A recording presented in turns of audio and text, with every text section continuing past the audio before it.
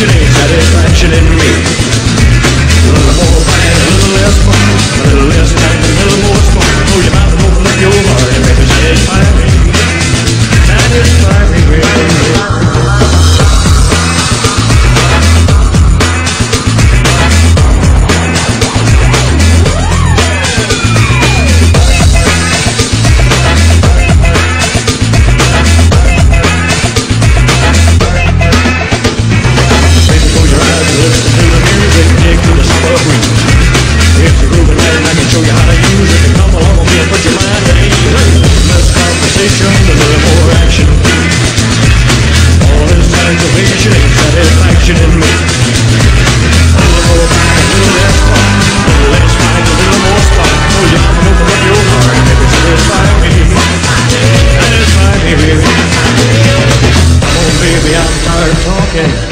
Grab your coat and let's start